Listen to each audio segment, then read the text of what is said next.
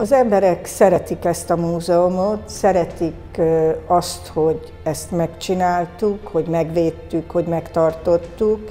és hálásak érte.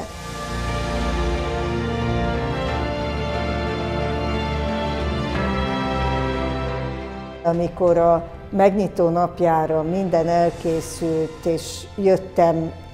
a gyerekeimmel, meg a férjemmel, meg az egész családdal izgultunk, hogy, hogy mi, milyen lesz ez a megnyitó, akkor egy, egy nagyon meghatározó ö, élményben volt részem, mert ö, a több mint százezer ember mécsesekkel a kezében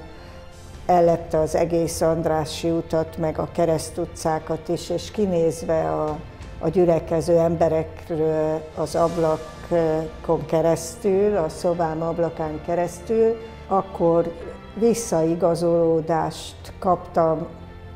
abban a tekintetben, hogy ez mégiscsak egy fontos dolog. Ez mégiscsak szolgálja a magyar nemzeti közösséget, az, hogy egy ilyen hely elkészülhetett, hogy az igazságot meg tudjuk nekik mutatni, hogy van egy hely, ahova eljöhetnek lerakni egy, egy mécsest, hogy elkezdhetnek végre beszélni azokról a szörnyű élményekről, amelyeken átmentek, vagy a családjuk átment, a nagyszüleik, vagy a szüleik generációja, és hogy ez a sok-sok minden, amin keresztül ment ez a nemzet abban a 45 évben, amit a kommunista rendszerben kényszerültünk eltölteni, az ennek a közös katarzisnak a hatására, amit reményeim szerint ez a ház kiváltott,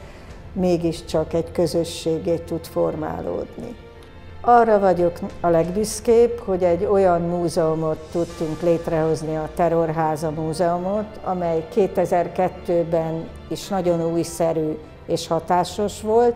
és az elmúlt húsz év alatt se öregedett meg, ma is úgy jönnek be ide a látogatók, hogy valami teljesen friss élménnyel gazdagodnak. Büszke vagyok arra, hogy több mint 7 millió ember jött már el hozzánk. Büszke vagyok arra, hogy a külföldi utikönyvek az első és a legfontosabb budapesti látnivalók között említik meg ezt a múzeumot. Büszke vagyok arra, hogy sok fiatal dolgozik nálunk,